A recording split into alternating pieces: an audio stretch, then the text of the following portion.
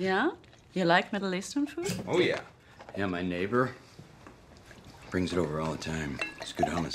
Yeah, where's your neighbor from? Um, uh, Israel, I think. You think? Yeah, pretty sure. She's uh, from somewhere over there. You do know Israel's not really the Middle East, right? Oh, yeah? Because you said Middle Eastern food.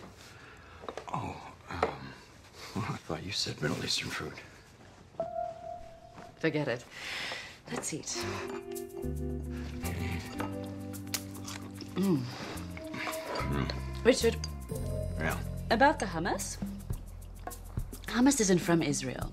I mean, yes, Israelis do have hummus, but they took it from us. Oh, Samara, I, I never said. I, I know. I have no idea where hummus comes from.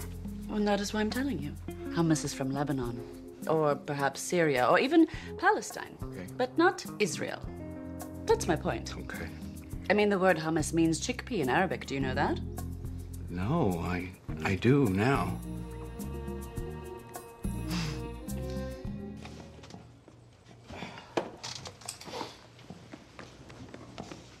What is this? Oh, it's a uh, hummus. This is Arab hummus, Ray. Arabs can't make hummus for shit. You want hummus? You have me make it for you. I, I thought hummus was from Lebanon. What? Yeah, I mean, you know, I, I, hummus uh, means chickpea in uh, uh, Arabic.